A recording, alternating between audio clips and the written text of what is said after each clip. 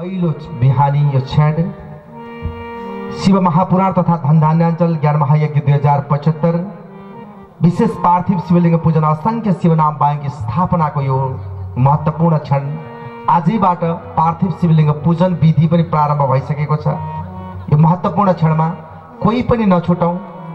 सबैजना यो महान कार्यमा सरिक बनाऊ आफ्नै हातले पार्थिव शिवलिङ्ग स्थापना गरौँ र आफ्नै हातले पूजा गरौँ। यस्तो सौभाग्य फेरि आउला या नआउला हामी बुझेका छैनौँ जानेका छैनौँ पटक पटक गुरुदेवले भनिराख्नु भएको छ।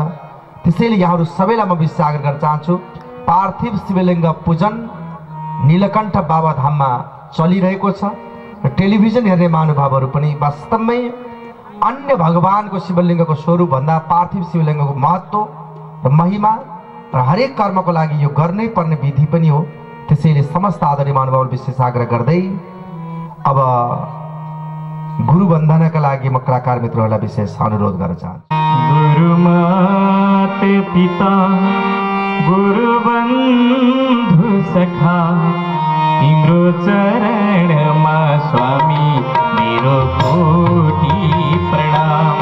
तिम्रो चरणमा स्वामी मेरो कोटि प्रणाम।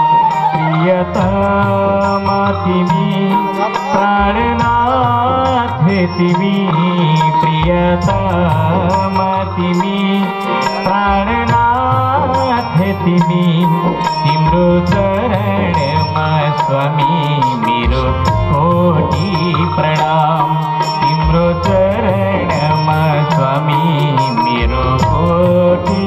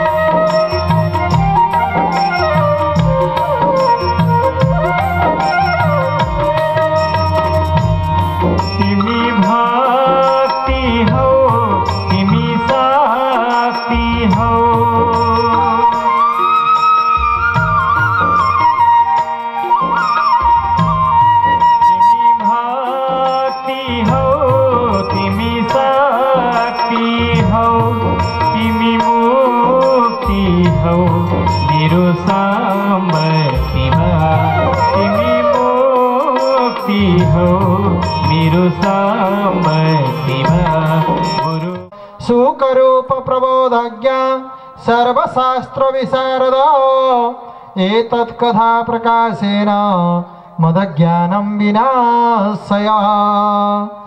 श्रीसुखस्वरूपिणे श्रीव्यासाय नमः। हंस हंसाय विद्महे परमहंसाय धीमहि तन्नो सुख प्रचोदयात्।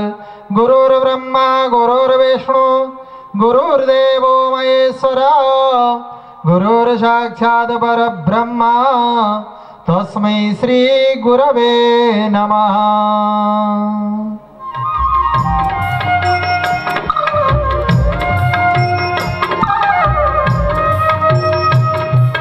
याख्यास्वरूपाय जटाधराय पीनाकहस्ताय सनातनाय दिव्याय देवाय। देवस्वरूपोऽयम्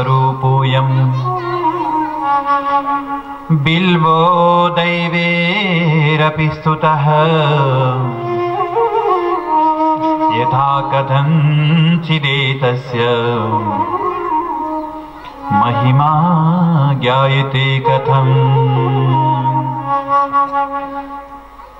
सनकाद ऋषिहरूका प्रतिमा सुतजी आज्ञा गर्नुहुन्छ प्रभु। जो बेलपत्रको महिमा छ नि यो बेलपत्रको महिमा आफैमा पनि अत्यन्त महत्त्वपूर्ण छ। शिवको लागि केही केही पुष्प र केही पत्र अति प्रिय छन् हेर्नुहोस्। है भगवान् शिवको लागि केही पत्र केही पुष्प अत्यन्त प्रिय रहेका छन्। र ती पुष्प र पत्रहरू मध्येमा बिल्व पत्र भगवान् शिवको लागि सबैभन्दा अति प्रिय। अति प्रिय। शिवको पूजामा सबै चिज बिर्से केही हुँदैन आमाहरू। है। तर शिवको पूजामा कहिले पनि बिल्व पत्र नबिर्सिनु। बिल्वपत्र सधैँ भगवान्लाई अति प्रिय भगवान्लाई सधैँ बिलपत्र अर्पण गर्नुपर्छ। बिल्वपत्र। र बिल्वपत्र कति पत्र? भएको भन्दा त्रिपत्र भएको। त्रिदलं त्रिगुणाकारम् त्रिनेत्रं च त्रयायुधम् त्रिदलम तिनवटा पत्र भएको। के स्वरूप हो त भन्दा? पहिलो तिन दल ओमको प्रतीक हो अ उ म। तिनवटा अक्षरको प्रतीक स्वरूप बेलपत्रका तिनवटा पात हुन् दोस्रो स्वरूप ब्रह्मा विष्णु अनि महेशको स्वरूप। है? अनि तेस्रो स्वरूप तीन लोकको प्रतिनिधित्व गर्दछ बेलपत्रले। सत्यलोक मर्त्यलोक अनि यस्तै प्रकार पाताल लोक त्रिलोकको प्रतिनिधित्व पनि गर्दछ। र यस्तै प्रकारले त्रि आँखाको प्रतीक पनि बेलपत्रले गर्दछ। तिनवटा आँखाहरूको प्रतीक। के त? अघि भर्खरै आएको थियो नि होइन? भर्खरै आए अनुसार के को चर्चा आएको थियो त भन्दा तिनवटा आँखामा दुईटा आँखा त हामी देखिरहेका छौँ। तेस्रो आँखा कुन आँखा? लुकेको आँखा छन् नि। कहिलेका आमाहरू एउटा कुरा तपाईँहरूलाई म सजिलै घर गएर गर्नुहोला। ध्यान बस्नुहुन्छ नि। र ध्यान बस्दा कहिलेकाहीँ यो भ्रिकुटीको मध्यमा यसो गरेर आँखा नजिकै लगेर अङ्गुलाले छुन खोज्नु र त्यो काटीकुटी लागे चाहिँ हुन्छ। है? चिलाए चाहिँ पनि हुनसक्छ या काटीकुटी लागे चाहिँ नछोइकन पनि। आँखाले देखेको छैन आँखा बन्द छ। नजिकै तपाईँको अङ्गुला पुग्दा काटीकुटी लागे चाहिँ हुन्छ चिलाए हुन्छ। आँखा बन्द छ तर तेस्रो आँखाले छाला भित्रबाट देख्यो कि केही चिज नजदिक छ। तेस्रो आँखाले देख्छ हामीले हेर्न मात्रै नसकेको भक्त। है? र तेस्रै तिनै तिनवटा आँखाको प्रतीकका रूपमा बिल्वपत्रको तिनवटा आँखा रहेको छ।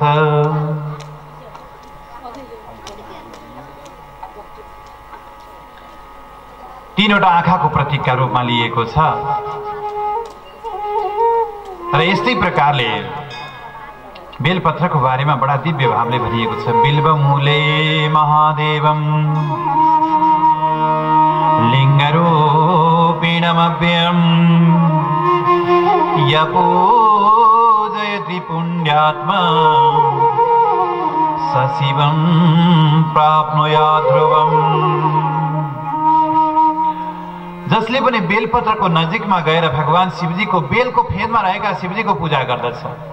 के भनेको छ यहाँनिर भन्दा सम्पूर्ण संसारमा जति पनि शिवको मन्दिर छ ती सबै मन्दिरमा गएर पूजा गरेको फल प्राप्त हुन्छ। त्यही भएर शिवको मन्दिरमा गएर भक्तहरू बेलको वृक्ष लगेर बिरुवा लगेर लगाउनु पनि पुण्यदायक हो। र कसैले लगाएको रहेछ त्यो वृक्षको संरक्षण गर्नु पनि पुण्यदायक हो। त्यसको मुनि गएर अलिकति जल अर्पण गरे पनि पुण्यदायक हो। त्यसको परिक्रमा गरे पनि पुण्यदायक हो।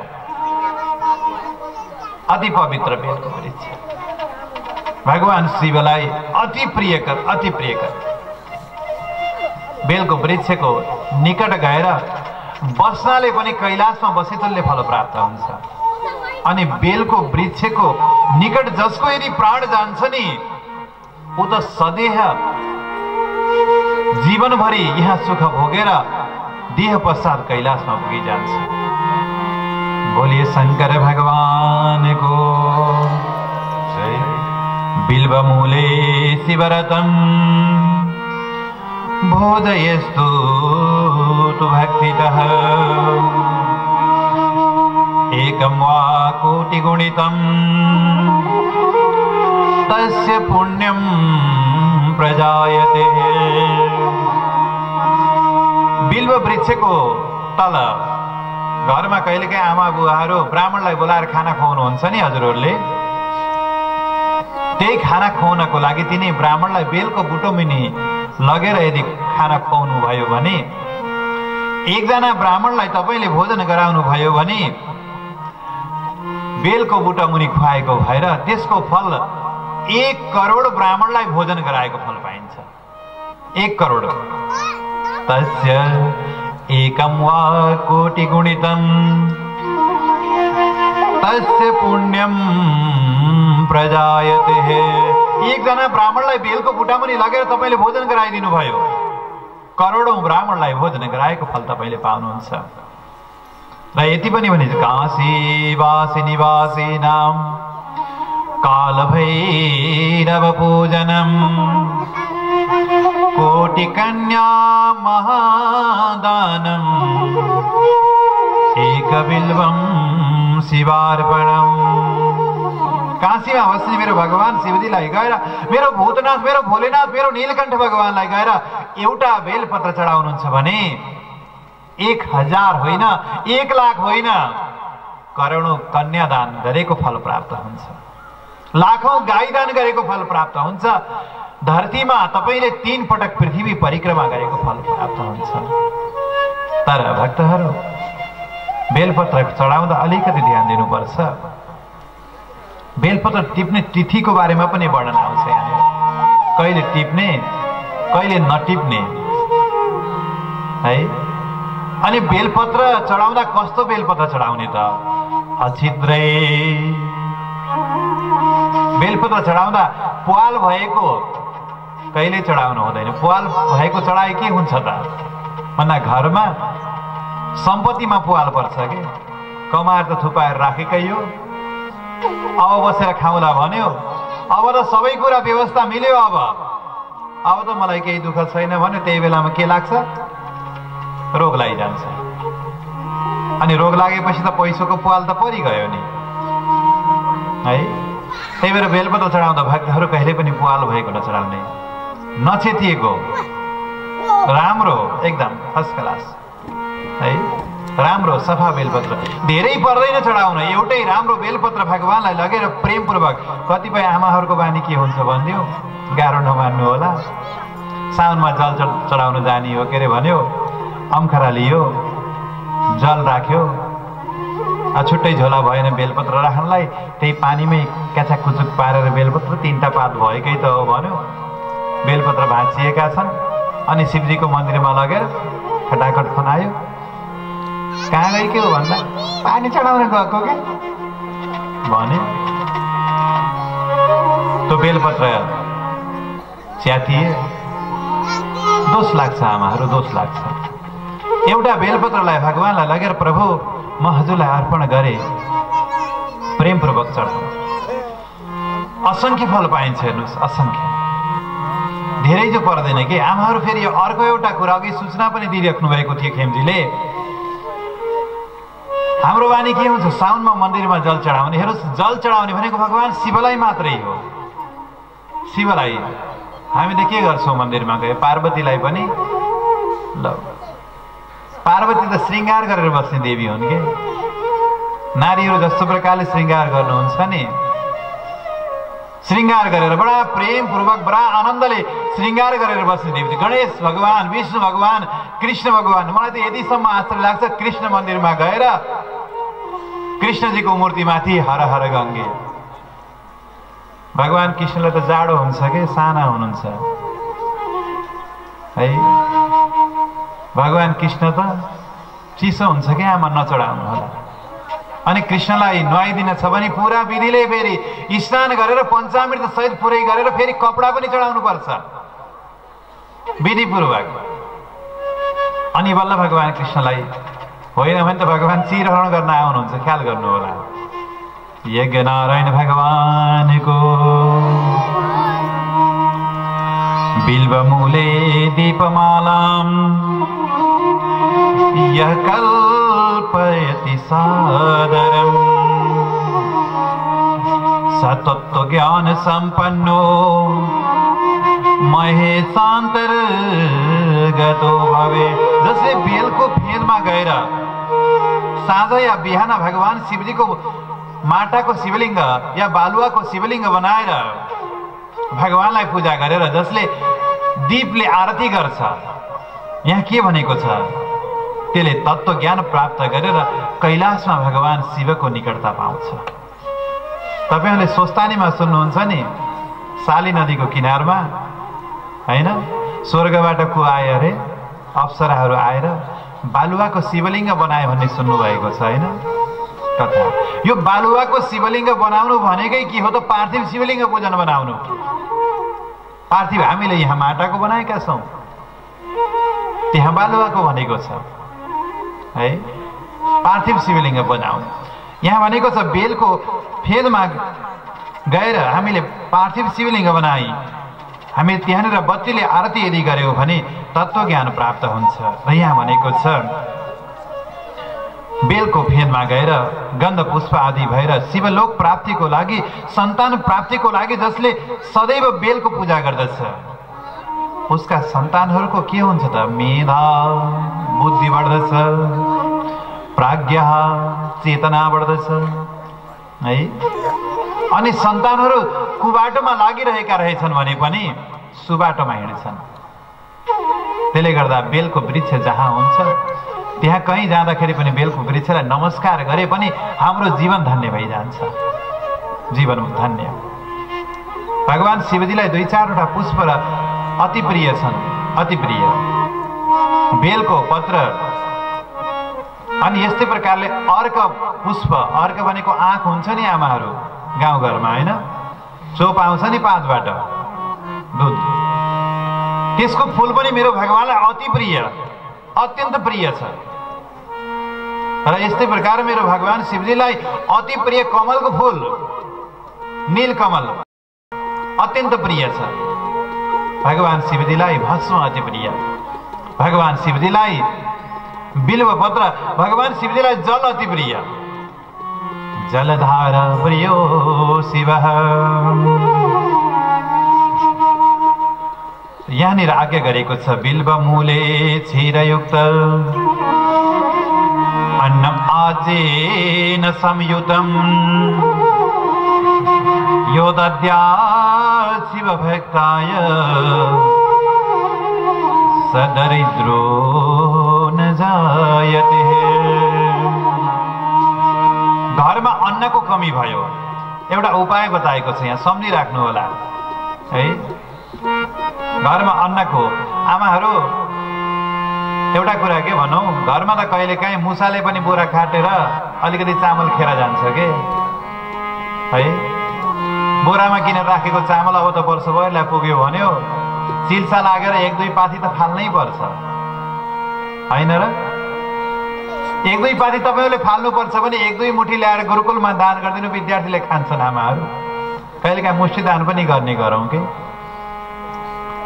सर्वेश्वर भगवानको। यहाँ भनेको छ यदि अन्नको नाश भइरहेको छ भने बेलपत्रको नजिकै लगेर खिर पकाउने। घरमा पकाउने बेलपत्रलाई लगेर बेलको वृक्षमा लगेर भगवान् शिवजीलाई प्रसाद लगाएर त्यो बेलपत्रमा लगाएको प्रसादलाई घरमा ल्याएर सबैलाई बाँटिदियो यसबाट के हुन्छ त? दरिद्री भाव हट्छ र यो नैवेद्य खानाले घरमा के हुन्छ त शुद्ध भावना आउँछ। त्यही भएर हामीले के गर्ने? भगवान् शिवलाई अति प्रिय वृक्ष बेलोपत्र पूजनमा कहिले पनि नबिर्सिने। भगवान् श्रीलाई भगवान् शिवलाई अति प्रिय वृक्ष। हरि चढाउँ बेलपत्र चढाउँ बेलपत्र। स्वर्ग जाने हुन्न अल्पत्र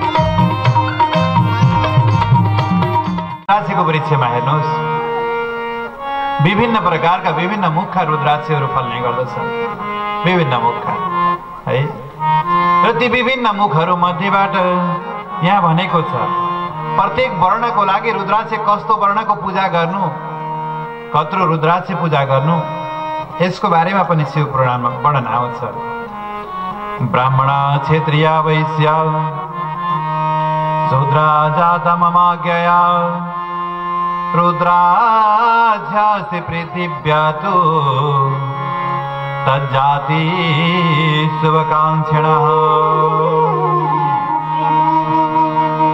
रुद्राक्षको वर्णन गर्दै जाँदा कर्मैसँग ब्राह्मणले सेतो छेत्रीले रातो वैश्यले पहेँलो र शूद्रले कालो वर्णको रुद्राक्ष लगाउनु पर्दछ। सबै वर्णको लागि वर्णन आउँछ रुद्राक्षको फलको वर्णन गर्नुपर्दा जुन रुद्राक्ष अमला जत्रो हुन्छ अमला अब आमाहरूले भन्नु होला अमला त एउटा ठुलो हुन्छ। है बजारमा त्यो विकासी हो त्यसको कुरा गरेको होइन। हाम्रो जुन लोकल अमराको फल हुन्छ त्यत्रो जुन हुन्छ नि रुद्राक्ष त्यो सर्वोत्तम भनेको छ। बयरको जुन फल हुन्छ बयरको फल जत्रोलाई मध्यम भनिएको छ। र चना समानको रुद्राक्ष कसैले के गर्नुहुन्छ? सानो रुद्राक्ष लाउने भन्नुहुन्छ नि। त्यसलाई त्यति राम्रो मानिँदैन। तिन प्रकारको। र यस्तै प्रकारले यहाँ भनेको छ जुन अमलाको फल जत्रो रुद्राक्ष हुन्छ त्यसले के गर्छ? फल के दिन्छ त भनेर भन्दा सम्पूर्ण अरिष्टको नाश गर्दछ। सबै प्रकारले। यहाँ भनेको छ धात्री फल समम सर्वारिष्ट विनाशनम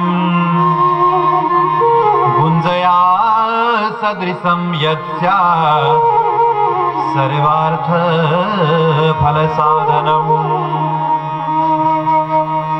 के भनेको छ यहाँनिर भन्दा? यहाँ वर्णन आउँछ हेर्नुहोस्। जसले पनि बयरको फल जत्रो रुद्राक्ष। जसले पनि अमलाको फल जत्रो रुद्राक्षको धारणा गर्दछ अथवा पूजा गर्दछ त्यसको घरमा अनिष्टको नाश हुन्छ। दुःख दारिद्र्यको नाश हुन्छ। जसले लालगेडी समान रुद्राक्षको पूजा गर्दछ उसले अर्थसिद्धि प्राप्त गर्दछ। यस्तै प्रकारले जसले रुद्राक्ष आफ्नो शरीरमा धारण गर्दछ उसले समस्त पाप नाश भएर सम्पूर्ण अर्थसिद्ध प्राप्त गरिजान्छ। र यहाँ वर्णन अझै पनि आउँछ किराले खाएको टुटेको फुटेको। यस्तो प्रकारको रुद्राक्षलाई त्याग गरिदिनुपर्छ हेर्नुहोस्। र कहीँ कतै तपाईँ रुद्राक्ष खोज्न जानुभयो रुद्राक्षको फेदमा जानुभयो माथिबाट रुद्राक्षको पुवाल हुन्छ हेर्नुहोस् है जसमा हामीले धागोले हुन्छौँ नि कहिलेकाहीँ भगवान् शिवको कृपाले गर्दा त्यो पुवाल आफै खुलेको पाइन्छ त्यो सर्वोत्तम भनिएको छ छिद्र भएको अत्यन्त अलिअलि सानो सानो पुवाल परेको त्यो मध्यम र आफैले ल्याएर घरमा खोल्नु परे पनि त्यसलाई पहिले शुद्धिकरण गरेर पवित्र गरेर बल्ल त्यसलाई खोल्नु पहिलो पटक नै त्यसलाई फलामले नखोल्नु भनेको छ। र रुद्राक्षको माला जसले धारण गर्दछ उसले सक्दछ एक एघार सत्ताइस चौवन्न एक सय आठ एक हजार आठ। आफ्नो शरीरमा रुद्राक्ष धारण गरोस्। तर रुद्राक्ष लगाउनले के गर्नु हुँदैन नियम पनि यहाँ बताएको छ। मध्यम मांसम तुलसुनम। पलाण्डुम शीघ्रमेव श्लेष्मान्तकं विड्बराहं वर्जयेद भक्षणे ततः। रुद्राक्षको माला म बजारमा गएँ मैले किनेर सुनको सिक्री लाइँदै लाउन हुँदैन हेर्नुहोस्। है सुन हिरा मोती जति लाउनुहोस्। तर रुद्राक्ष धारणको लागि यसको एउटा नियम छ। कुनै पवित्र सिद्ध महापुरुष अथवा कुनै आफ्नो सद्गुरुदेव या कुनै शिव भक्त जो अति नै योग्य व्यक्ति छ उसका हातबाट बल्ल रुद्राक्ष लगाउने जसले नियमलाई धारणा गर्न सकोस् शिवको नित्य मन्त्र जप्न सकोस्। त्यो लगाइसकेपछि आफ्नो जीवनमा पवित्रता धारण गर्न सकोस्। बाणीहरू मनहरू सधैँ प्रभुमा समर्पण गर्न सकोस्। त्यस्तो व्यक्तिले बल्ल रुद्राक्ष धारण गरोस्। होइन भने हेर्नुहोस् दोष लाग्छ। दोष लाग्छ। स्पष्ट रूपले शिव पुराणले भन्छ जसले मासु खान्छ जसले मदिरा पिउँछ जसले लसुन प्याज खान्छ र जसले अखाद्य पदार्थहरू खान्छ। त्यसभित्र धेरै कुराहरू परि गए। त्यस्तो व्यक्तिले रुद्राक्ष लगाउनु हुँदैन। दोष लाग्छ हेर्नुहोस्। है? मैले दुई चार ठाउँ भन्ने गरेको छु हजुर। यो रुद्राक्षलाई त्यसै दुरुपयोग नगर्नुहोस्। कहिलेकाहीँ रुद्राक्षले दण्ड पनि दिन्छ हेर्नुहोस्। दण्ड पनि दिन्छ कि? घरमा करेन्ट आयो भन्दैमा त्यो करेन्टलाई हामीले गलत तरिकाले प्रयोग गर्यो भने त्यो बिजुली कहिलेकाहीँ पड्किन्छ। पड्किँदैन आमाहरू? करेन्ट पनि लाग्छ। पड्किने मात्रै होइन। त्यही भएर हामीले बेलपत्र भगवान्लाई शिव अर्पण गर्दा र रुद्राक्ष आफूले पूजा गरेर धारण गर्दा बडा सावधानीपूर्वक हामीले रुद्राक्षको गर्नुपर्छ। यहाँ भनेको छ जीवनमा तिमीले कहिल्यै भस्म लगाएनौ। जीवनमा तिमीले कहिले रुद्राक्ष धारण गरेनौ भने तिमीले गएर के गर्यौ त? आमाको गर्भबाट जन्म लिएर आयो। मनुष्य भएर तिमी मन्दिर गएनौ शिवको। रुद्राक्ष लगाएनौ। रुद्राक्ष त कहाँबाट लाउने? मुखमा मिठो खाने बानी छ। बरु रुद्राक्ष छोडिन्छ त छोडिन्न हेर्नुहोस्? छोडिन्न। लागेको छ बानी। नखानुहोस् भने पनि मान्नुहुन्न। मैले त एउटा कुरा भन्न लागेँ माताजी आजभोलि भक्तहरूलाई। खुब खानुहोस्। सकन जरी खानुहोस् सम्पत्ति बेची बेची खानुहोस् चाँडै अगाउनुहोस् तर। चाँडै अगाउनुहोस् कि? खाएर। जति छिटो अगाउनुहुन्छ नि त्यसपछि त छोड्नु होला। है? भागवतमा एउटा दृष्टान्त छ। अघासुरलाई भगवान् कृष्णले मार्नु भएको छ कि? अघासुर। अघासुर भनेको अजिङ्गर। अजिङ्गरलाई मारेको त्यो कथा त सुनेका छौँ त्यसको अर्थ तात्पर्य के हो त? भन्दा अजिङ्गरले बसेर खाने मात्रै काम गर्छ कतिखेरबाट उताबाट मेरो आहार आउँछ। हामी पनि मानिस जीवन जन्म लिएर आएपछि हाम्रो जीवनै के भयो? खानामा मात्रै बिति गयो। है? खानामै जीवन। खाना बाहेक अरू केही पनि भएन। भगवान्को नाम जप्न त परै जाओस्। हामी पनि त अजिङ्गर जस्तै भयौँ। बसेको छौँ खाएका छौँ बसेको छौँ खाएका छौँ। तिजको नाममा कहिले खाएका छौँ कहिले दसैँको नाममा कहिले तिहारको नाममा कहिले जनै पूर्णिमाको नाममा? एउटा कुरा मान्नुहुन्छ भने गरिदिनु होला। जब जब हामी पवित्र हाम्रा धर्मले बताएका तिथिहरू आउँछन् नि ती बेलामा झन पवित्र हुने बेलामा हाम्रो नेपाली परम्परा कस्तो भयो? ती बेलामा झन अपवित्र काम गर्छौँ। म जन्ती र यो विवाहमा सित्तिमिति जाँदिनँ। घरमा निम्ताहरू खुब आउँछन्? म भक्तहरूलाई भन्ने गरेको छु आजभोलि म यो जन्ती र विवाहमा म छोरीको विवाहमा पनि म आउँदिनँ। अस्ति एक ठाउँ बिहामा साह्रै कर गरेर गएँ। मैले मिडियाको मार्फतबाटै भन्दैछु यो कुरा। मैले भने पण्डितजी विवाह के छ? विधि कति छ? पण्डितजी छ भन्नुभयो। मैले भने अच्छा। भित्र गएर हेरेँ टन्न दुला दुलैले मासु खाएर आएका छन्। त्यस पछिबाट आएर उनीहरू हवन कुण्डमा बसेर माताजी पूर्णाहुति गर्न बाँकी छ। मासु खाएर दुलादुलैले आइसकेपछि मलाई भन्नुहोस् संसारमा कुन विधिले त्यसलाई पूर्णाहुति गर्न मिल्छ? ए आमा बुवा हो छोरीको विवाहको यज्ञ हुन्छ त्यहाँ। तपाईँले गाई दान गरेर सपिन्टो बेलामा पितृको पूजा गरेर कन्यादान गर्ने हो छोरीको लागि राम्रो होस् भनेर। छोरीको विवाहको दिन जस्तो पवित्र दिनमा। त कसैको हिंसा नगरिदिनुहोस्? तपाईँहरू छोरी पछि हो नि अडिक लिनुहोस्। हामीले जे खुवाउँछौँ जन्तीले त्यही खाने हो। जन्तीले केही कर गरेर केही लाग्दैन। तर खाने बानी लाछ कहाँ छोडिन्छ नियम सियम गए खोल्सा गए? जब जब पवित्र दिन आउँछन् जब जब पुण्यका दिन आउँछन् हामी त्यसैका पछाडि दौडिएका छौँ विचित्र छ भन्नै हुँदैन आजकल म त अचम्म माने मैले त आजभोलि के भने मासु खाएर विवाहको जग्गामा दुला दुलेले बिहे गर्नुभन्दा पहिल्यै बरु स्वयंवर गरेर माला मात्रै लगाएर दुलै लिएर गए हुन्छ। आवश्यकै छैन त्यहाँ हवन गर्न। आवश्यकै छैन। अहिले जनवादी विवाह आयो नि बरु त्यही गरिदिए हुन्छ। कुन विधिले त्यो पण्डितले गराओस् भन्नुहोस् त? के विधि छ? प्रसङ्गले म उता गएको थिएँ। हामी जब जब पवित्र जब जब शुद्ध हुनुपर्ने हो। हिजोको दिनमा दर खाने नाममा के के खाइयो आज गएर पार्वतीको व्रत गर्छौँ। ए आमा हो जबरजस्ती कसैले गरेको छ र पार्वतीको व्रत? खाना त बरु दुई चार दिन पछि खानुहोस् न। दुई चार दिन पछि। नवरात्र हाम्रो हिन्दूको सबैभन्दा ठुलो देवीको उपासना गर्ने दिन हो। है? हाम्रो आजभोलि नवरात्र पनि के भइदिए भोलि साध्य छैन। लक्ष्मी पूजा गर्यो भोलि साध्य छैन। डोरो बान्ने दिन जनै लगाएर पवित्र भएको दिन त्यस दिन पनि भोलि साध्य छैन। आज त सङ्क्रान्ति हो अरे। आज त औँसी हो अरे।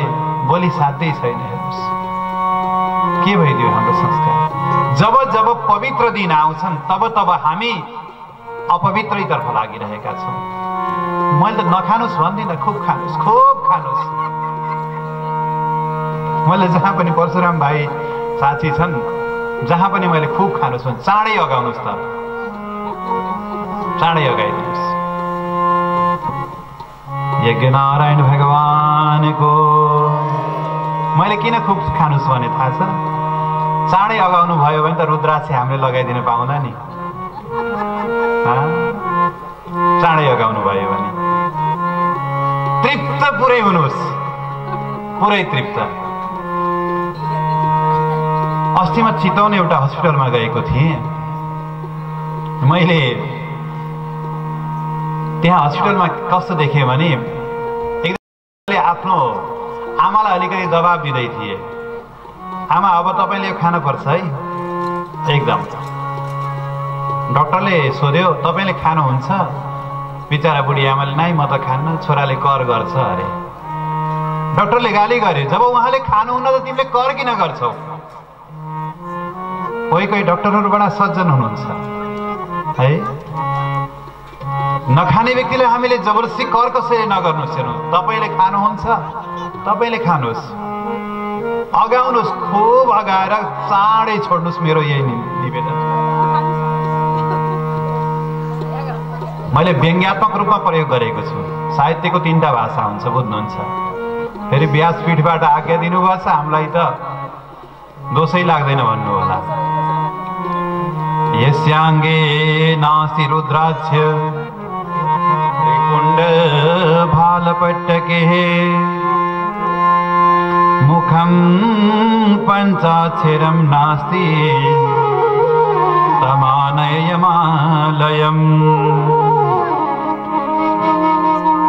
जसले निधारमा त्रिपुण्ड लगाएको छ रुद्राक्ष लगाएको छ कुकर्म गर्छ त्यस्ता व्यक्तिलाई यमलोकमा ल्याउनु भनेर आज यमराजले आज्ञा गर्नुभएको छ। भक्तहरू र रुद्राक्षको महत्त्वको प्रसङ्गमा कति मुखेसम्म रुद्राक्ष हुन्छन् भन्ने चर्चा आउँछ।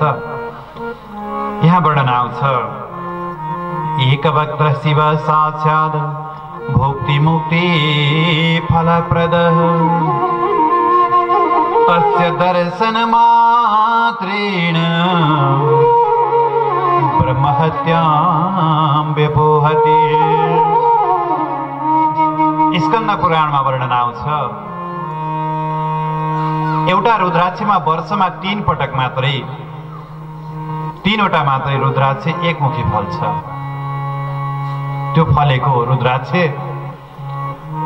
एउटा त सोझै भगवान् शिवजीको कैलाशमा जान्छ अर्को सिधै स्वर्गमा जान्छ ऋषिहरूको निमित्त र अर्को यस धरतीमा केही क्षणको लागि रहन्छ। केही सद्पुरुष सद सन्त सद साधकहरूको साथ पाए त उहाँहरूको साथमा रहन्छ। उहाँहरूको विधि पुरा भयो भने साथमा रहन्छ होइन भने उडेर गइजानुहुन्छ एकमुखी रुद्राक्षलाई साक्षात शिव साक्षात शिव शक्ति स्वरूप मानिएको छ। एकमुखी रुद्राक्ष। र यहाँ के भनेको छ? साक्षात भुक्ति मुक्ति प्रदायक। साक्षात भगवान शिवकै स्वरूप हो जसबाट हामीले भुक्ति पनि पाउँछौँ मुक्ति पनि पाउँछौँ। भगवान शिवकै दर्शन सोही जसको दर्शन मात्रले ब्रह्महत्या हत्या आदि गरिएका पापहरू सकल नाश भइजान्छ। हजुरहरूले जीवनमा कहिल्यै कुनै सन्तको हातबाट तपाईँले एकमुखी रुद्राक्ष दर्शन गर्नुभयो भने जीवन धन्य हुनेछ। अहिले पनि छन् धरतीमा धेरै ठाउँमा म नाम लिन चाहन्न। एकमुखी रुद्राक्ष सबैको भाग्य हुँदैन र जसको जुन दिन भाग्य हुन्छ उसले दर्शन पाउँछ। त्यही भएर जीवनमा एकमुखी रुद्राक्षको अत्यन्त महत्व र एकमुखी रुद्राक्षलाई साक्षात शिव स्वरूप बताइएको छ। दुई वक्त्रो देवदेवे सह सर्वकाम फलप्रदः विशेषत सरुद्राक्षो गोवधम नाशय द्रुतम। दुई मुखी रुद्राक्ष जसले धारण गर्छ या दर्शन गर्छ गाईको हत्या गरेको गोवध गरेको पापबाट नष्ट हुन्छ। भगवान साक्षात देव देवको स्वरूपमा रहेको देवेश्वर स्वरूप हो। तीनमुखी रुद्राक्ष जसले दर्शन गर्छ र धारण गर्छ। ब्रह्मा विष्णु महेश स्वरूप र त्यसबाट नै सम्पूर्ण सर्व प्रतिष्ठा प्राप्त गर्छ। चारमुखी रुद्राक्ष साक्षात ब्रह्माजी स्वरूप जसको स्पर्शले जसको दर्शनबाट धर्म अर्थ काम मोक्ष फल प्राप्त हुन्छ। पाँचमुखी रुद्राक्ष साक्षात काल र अग्निको स्वरूप हुनुहुन्छ जसको दर्शन गर्नाले धारण गर्नाले मुक्ति प्रदान हुन्छ। गलत कर्म गर्ने नखाने कुरा खाने पापबाट मुक्ति पाँचमुखी रुद्राक्ष र यस्तै प्रकारले छ मुखी रुद्राक्ष कार्तिकीय स्वरूप जसको धारण गर्नाले ब्रह्महत्या नाश भइजान्छ सातमुखी रुद्राक्ष अनङ्ग स्वरूप जसको धारण गर्नाले दर्शन मात्रले दरिद्री भाव हटिजान्छ दरिद्री भाव आठमुखी रुद्राक्ष अष्टमूर्ति भैरव स्वरूप लगाउँदा अकाल मृत्युबाट नाश भइजान्छ। अकाल र यस्तै प्रकारले नौमुखी रुद्राक्ष स्वयं भैरव र नवरूप धारिणी महेश्वरीको स्वरूप हो जसलाई धारण गर्नाले मानिस सर्वेश्वर समान भइरहन्छ। दशमुख भएको रुद्राक्ष साक्षात जनार्दन स्वरूप र जनार्दन स्वरूप भगवानको दर्शन गर्नाले मन चोखो भइजान्छ एघार मुखी रुद्राक्ष एकादश रुद्र स्वरूप विजय प्राप्त गराउँछ। बाह्रमुखी रुद्राक्ष द्वादशादित्य सोमा स्वरूप आज भगवानको शक्तिले शरीरलाई उष्णता प्रदान गर्दछ। तेह्रमुखी रुद्राक्ष विश्वदेव स्वरूप जुन रुद्राक्षले सबै कामना प्रदान गर्दछ। चौधमुखी रुद्राक्ष परम शिव स्वरूप हो र त्यसलाई धारण गर्दा सकल पापहरू नष्ट भइजान्छन् भनेर एक मुखेदेखि चौध मुखेसम्मका रुद्राक्षको बारेमा वर्णन गरिएको छ। त्यही भएर यहाँ म श्रद्धेय श्रद्धेय गुप्त बहादुर खत्रीज्यूलाई यो सम्मान पत्र ग्रहणका लागि म विशेष मञ्चमा आमन्त्रण गर्न चाहन्छु र जोरदार ताली सम्मान निलकण्ठलाई सम्मानसित मञ्चमा आमन्त्रण गर्न चाहन्छु। वरिष्ठ सङ्गीतकार मेरो आदरणीय अग्रज विष्णु भुर्तेलज्यूलाई एउटा जोरदार ताली सम्मान। वास्तवमा पश्चिम पूर्व उत्तर दक्षिण मलाई डोराउने नै दाइ एउटा सम्मान। मलाई सम्मान टिका गर्नको लागि म विशेष अनुरोध गर्न चाहन्छु।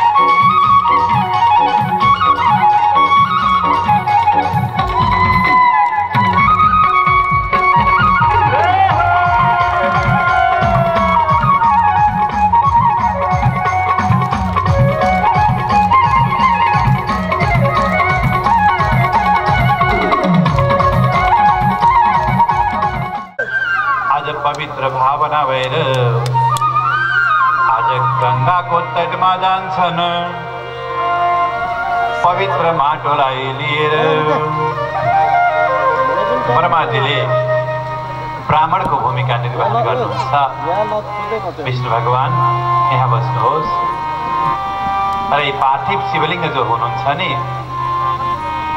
पार्थिव शिवलिङ्गको हजुरले पूजा गर्नको लागि हजुरले सङ्कल्प गर्नुहोस् सङ्कल्प गर्दा तपाईँले सम्पूर्ण हेर्नुहोस् पार्थिव शिवलिङ्ग पूजा गर्नको लागि पहिले सङ्कल्प गर्नुपर्दछ अनि सङ्कल्प गरेर मैले यो कामना लिएर गर्दैछु भनेर सङ्कल्प गर्नुहोस् सङ्कल्प गराउनु भयो।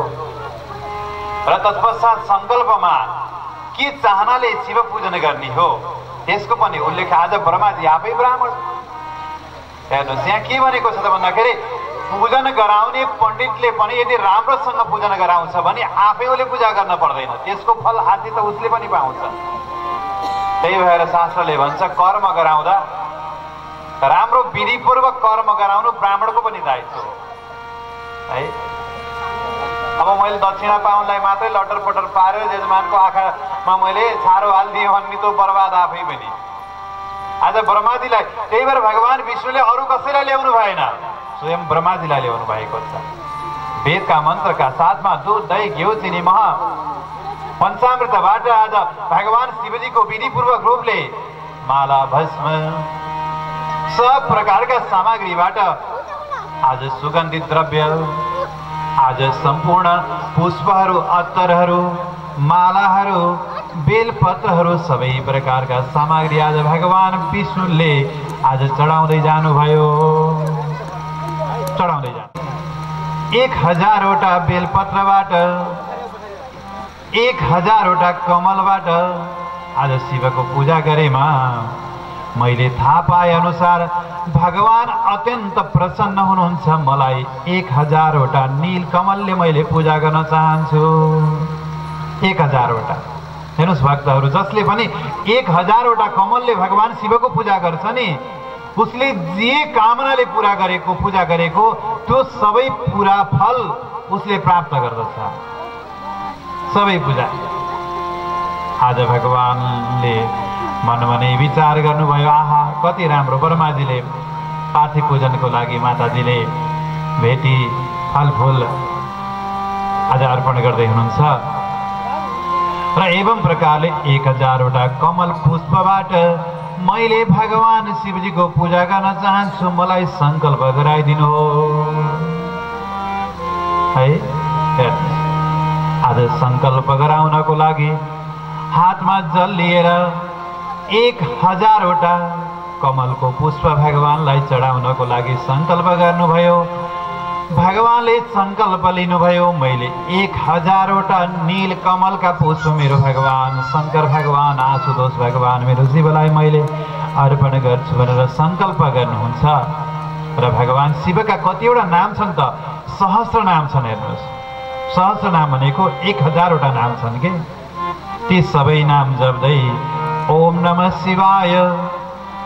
ओम फालचन्द्राय ओम चन्द्रशेखराय ओम गौरीशेखराय नमः। ओम गङ्गाधराय नमः।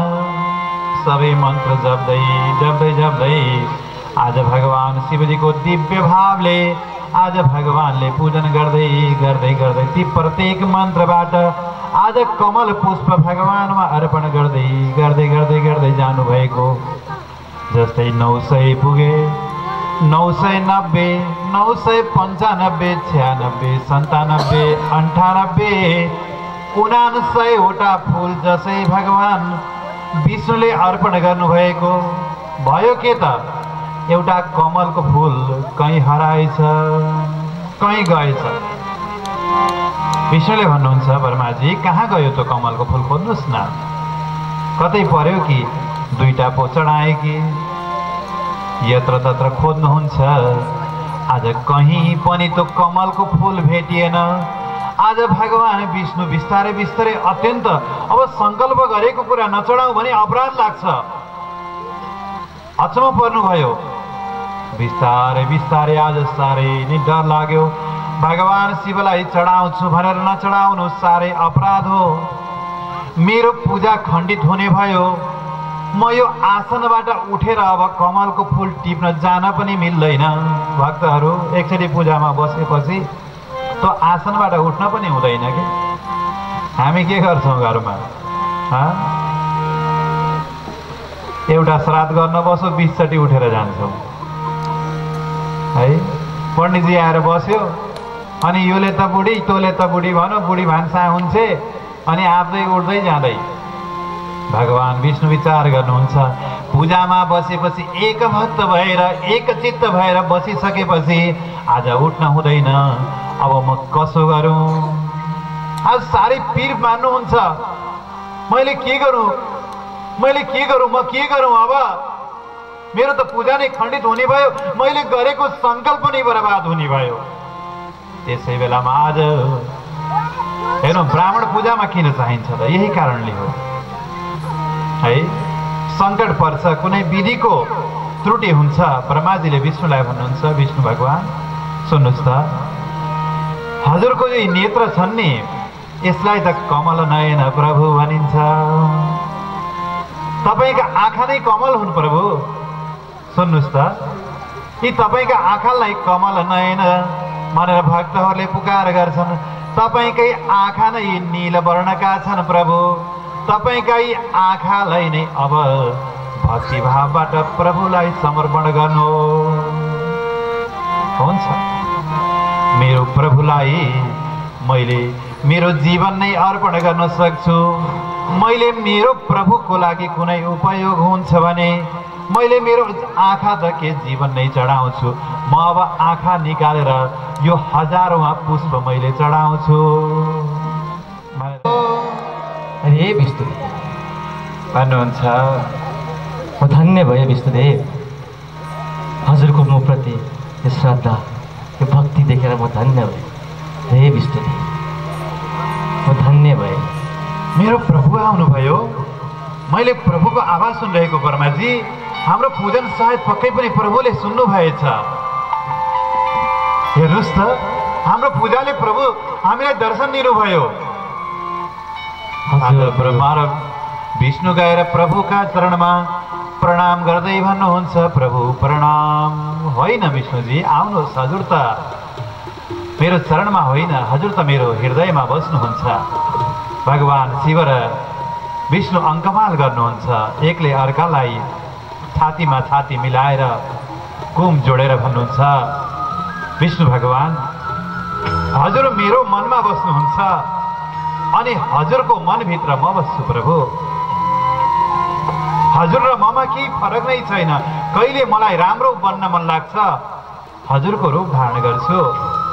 अनि कहिले मलाई प्रलय गर्न मन लाग्छ सृष्टिको अन्तमा म शिव स्वरूपमा हुन्छु प्रभु। हजुर र म हजुरको मनभित्र शिव रूपमा म बस्छु र मेरो मनभित्र रामका रूपमा प्रभु हजुर बस्नुहुन्छ। हामी दुई एक हौ। र हामी दुईको माध्यमबाट नै ब्रह्माजीलाई हामीले सृष्टिको जिम्मेवारीको लागि हामी सुम्पिएका छौँ प्रभु। भन्नुहोस् प्रभु हजुरले आफ्नो नेत्र नै मलाई चढाउनु भयो प्रभु। भन्नुहोस् मैले हजुरलाई के दिउँ प्रभु? म हजुरलाई के अर्पण गरौँ? भनेर भन्दा भन्नुहुन्छ भगवान् विष्णु प्रभु म हजुरलाई केही पनि माग्दिनँ प्रभु। म केही पनि दिँदिनँ। अब यो सृष्टिको संसारलाई अगाडि बढाउनुपर्छ प्रभु। यो सृष्टि बढाउनको लागि मलाई आज्ञा दिनुहोस् प्रभु। आज भगवान् शङ्कर भन्नुहुन्छ ठिक छ अब मैले मेरो यो सुदर्शन चक्र आफ्नो शरीरको यो मेरो दण्डबाट निकालेर म तिमीलाई प्रदान गर्छु। जानुहोस् सम्पूर्ण संसारलाई यो सुदर्शन चक्रले रक्षा पनि गर्नुहोस् र सम्पूर्ण संसारको पालनकर्ता हजुर हुनुहोस् र सबैलाई आफ्नो सन्तान आफ्ना छोराछोरी जस्तै बनाएर सम्पूर्ण संसारको पालन गर्नुहोस् प्रभु हजुरको लागि मैले यी कार्य सुम्पिन्छु ब्रह्मदेव संसारमा गएर पालनकर्ता भगवान् विष्णुले पालन गर्नुहुन्छ हजुरले सृष्टि गर्नुहोस् सबै प्रजाको सृष्टि गर्नुहोस् भनेर आज्ञा गर्नुहुन्छ। र त्रिदेव त्यहाँबाट आज प्रस्थान गर्नुहुन्छ। यज्ञ नारायण भगवानको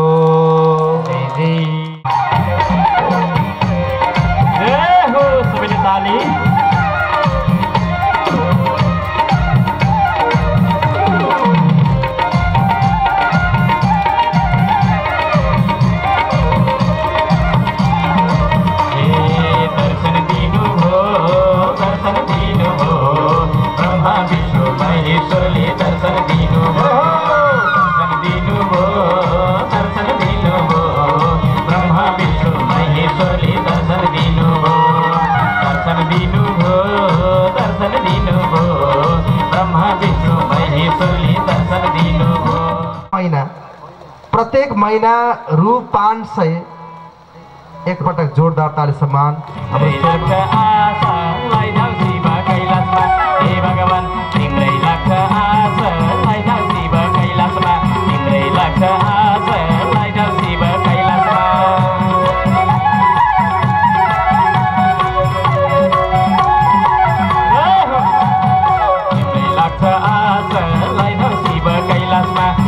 लाग्छ आशा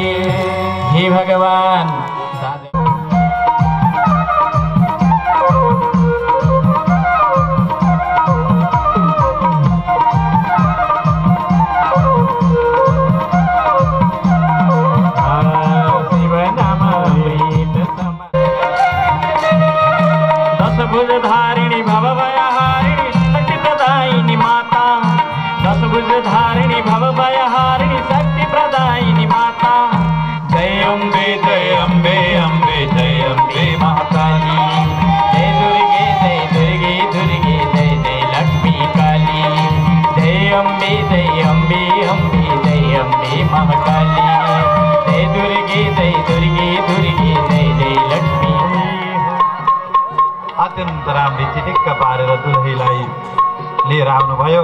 उता के भयो त कैलाशमा? यहाँ त दुलै त शिव से बोला एक भूत शिव से बोला पीछे भांग का गोला एक भूत शिव से बोला पीछे भांग का गोला भोला भांग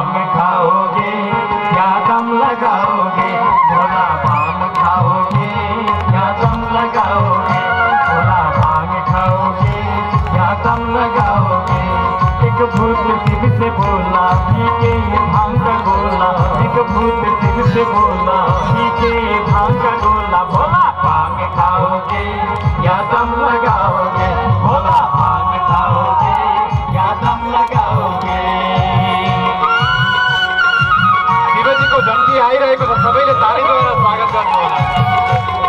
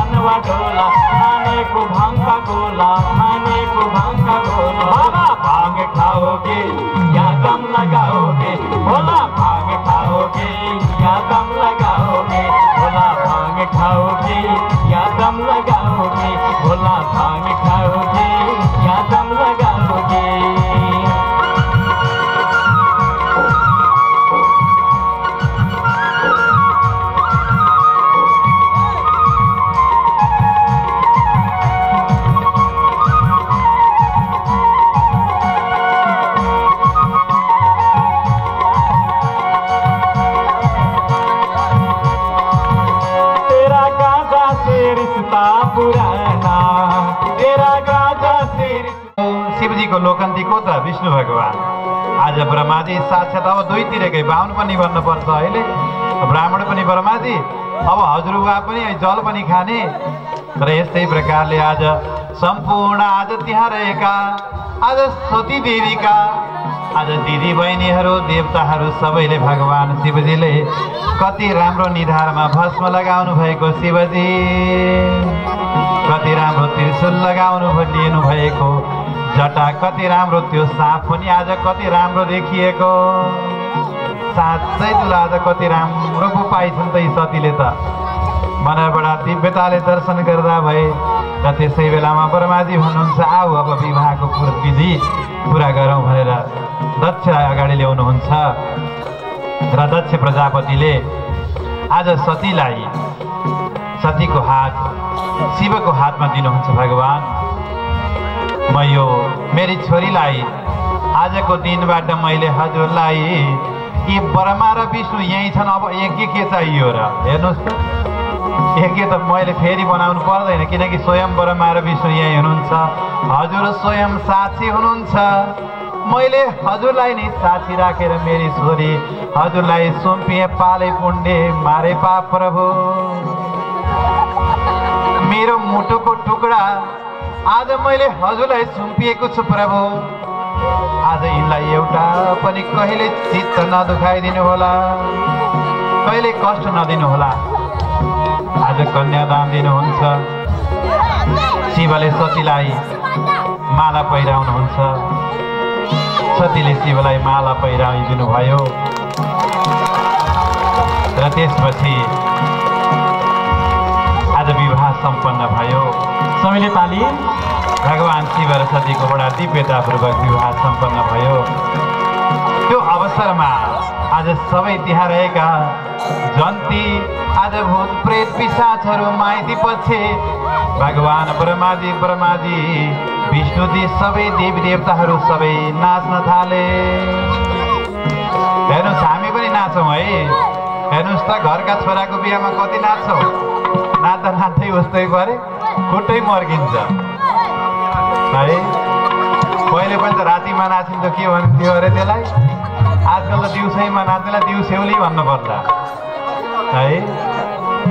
ल सबै उठेर नाच्ने अब।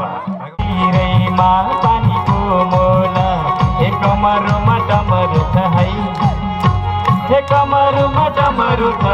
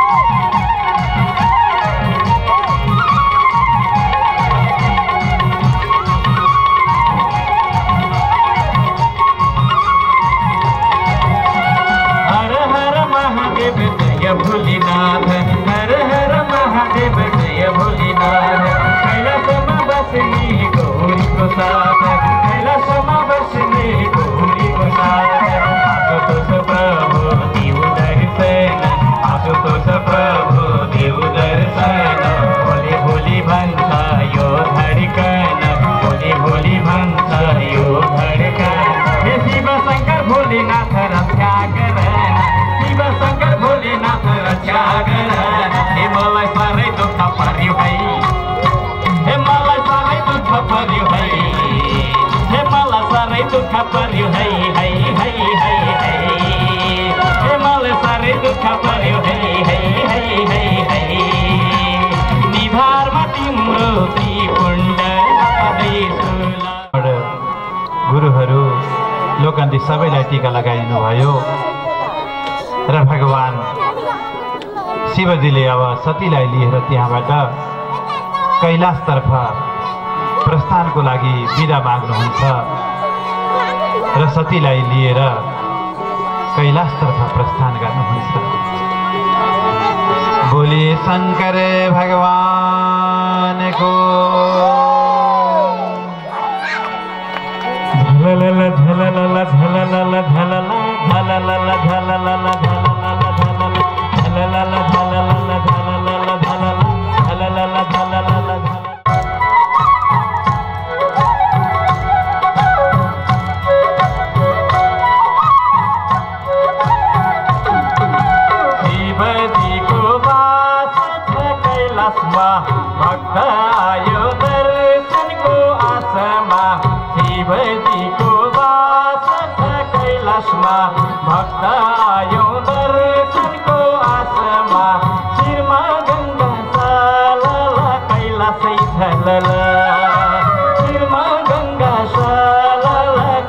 कैलासै झलला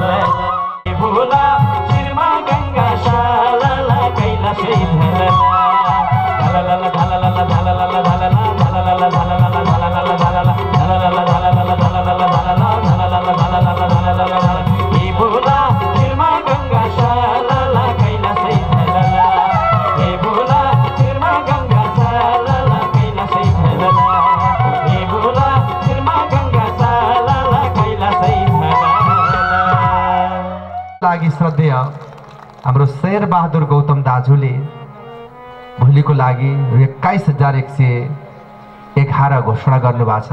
उहाँलाई पनि विशेष सम्मान छ श्रद्धा छ। बाट विशिष्ट दान प्रदान गर्नुभएको छ।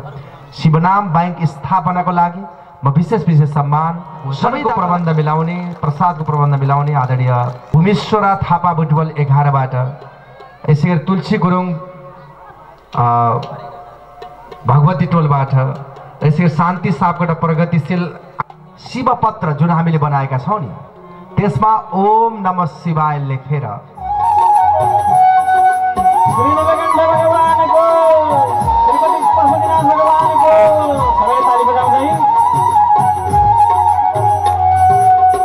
डमरु त्रिशूल सुशोभित प्रभुका दुई करमा शिवा प्रभुका दुई करमा भूषण नाग विराजित भूषण नाग विराजित बागाम्बर तनमा ओम हर जन्मा थरी थरी ज्योति छदी सदा शिव ज्योति छदी सदा सब मनोहर संग माथन गिरदा ओम हर हर हर महावीर कला। कल कल बग सिंहर दम, कल कल बग हर दम। रूप सवै शिव प्रभु का रूप सवै। ओम जय शिव शंकर शंभो जय गिरिजाधीश प्रभु जय गिरिजाधीश इन्द्रहरं सदा वसन्तं हृदयारविन्दे भवं भवानी सहितं नमामि त्वमेव माता च पिता त्वमेव त्वमेव बन्धुश्च सखा विद्या